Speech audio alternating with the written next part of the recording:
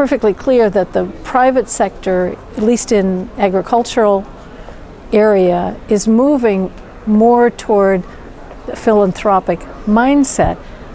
But I don't see that the public sector is also recognizing, to the extent that it must, that su successful, sustainable businesses, right down to the farmer level, are what they should be creating. I think the major thing that governments need to do is make it easier to use modern science to shape crops to be more nutritious. The bulk of private sector investment in research today, just in, in terms of dollars, is in GMO research for commodity crops.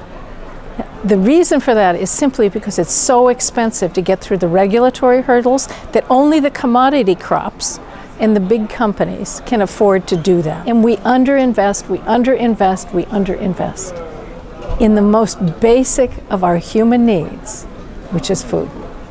The whole area of risk management for farmers is another area.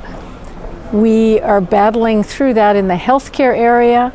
It's equally true in the in the agriculture area because farmers are subject to forces of weather, particularly with climate change, with the climate changing, that are beyond their control, and that's where governments can function.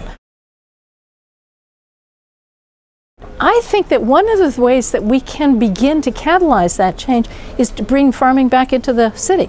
Urban agriculture is an idea whose time has come.